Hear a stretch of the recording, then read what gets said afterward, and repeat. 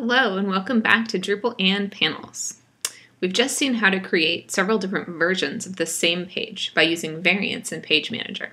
And now we'll walk through an alternate way to create variants. We have here the homepage of our website, which is showing a two-column layout. We've got an article on the right and some additional things like a search box and a Who's Online listing on the left. If we're logged out, on the left-hand side instead, you'd see an advertisement. What we want to do is create a copy of this variant that instead of having two columns, we'll have three columns so we can show the advertisement, the search box, and the Who's Online listing all at the same time. We're going to start by editing our existing panel pane by clicking the Edit Panel link at the top right.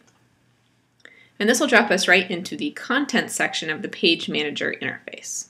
From here, we can see that we have one variant for our panel named Panel, so as usual, we'll start by renaming this variant something that more closely matches what it's actually going to be.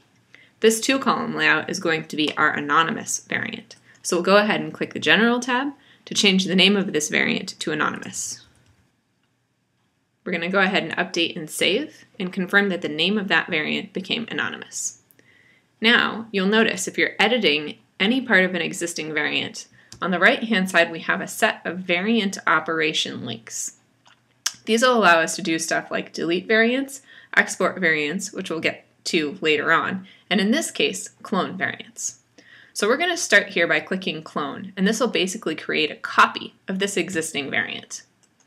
The first thing it'll ask for is a new name. We already have a variant called anonymous. This is going to be the variant for authenticated. By clicking update and save, it creates an exact copy of the anonymous variant with a new name authenticated. So you can see from looking at the settings here that we have the Drupal blocks and regions disabled, and we've chosen the in-place editor renderer. If we check out the content, you'll also notice that we have a two-column layout with all of our content already in place. If you have a really complicated panel with a lot of stuff laid out in a very specific way in one variant, and you want to create a second variant that's very similar, it's often much faster to clone an existing variant than to create a new one using the wizard. In this case, we've got a couple of changes to make to our authenticated variant to differentiate it from the anonymous one. The first and most important is to change the layout. If you click the layout link on the left, you'll be able to choose from a new, new set of layouts. We're going to go to this drop-down menu and grab three columns. We're going to choose a three-column layout instead of two and click Continue. Panels has a very clever way of figuring out which content was in which region previously and asks you where you'd like to move it into your new layout. In this case, we're going to take the custom right side content and drop it into the middle column because we know that'll be our article. We're going to click Update and Save. And when we go back to the content display, you'll see that our article is now in the center column, our search form is in the left, the Who's Online is in the left, we can grab that ad from the left-hand side and drag it to the right. If we update and save this, you'll see that was a lot faster than adding all of those pieces of content all over again. But because this is a copy of our previous anonymous variant, there's some settings associated with each of these content panes that we need to worry about. For example, this advertisement has some settings on it for visibility rules that make it only visible if the user is anonymous. If we'd like this ad to show up for our authenticated users, we're going to need to remove that rule. To remove a visibility rule, you click on it in the drop-down, and you click the button at the bottom that says Remove.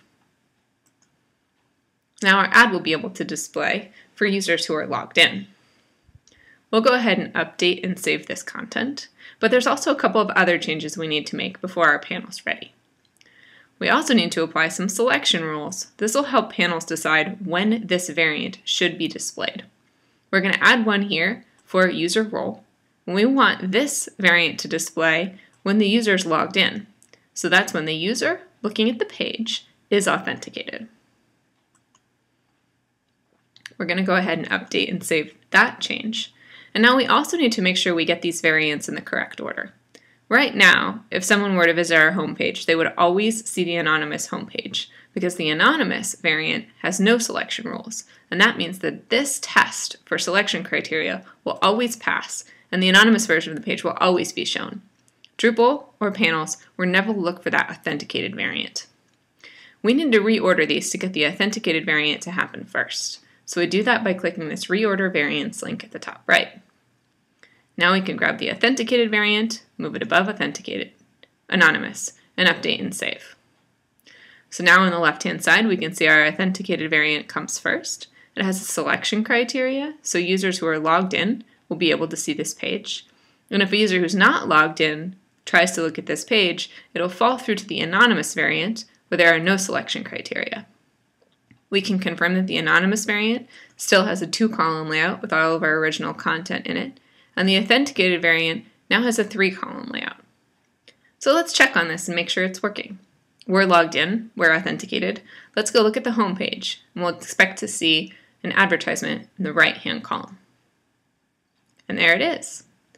It's also important to test our logged out version of this page, or unauthenticated, so we're going to log out and expect to see that advertisement on the left-hand side. Beautiful.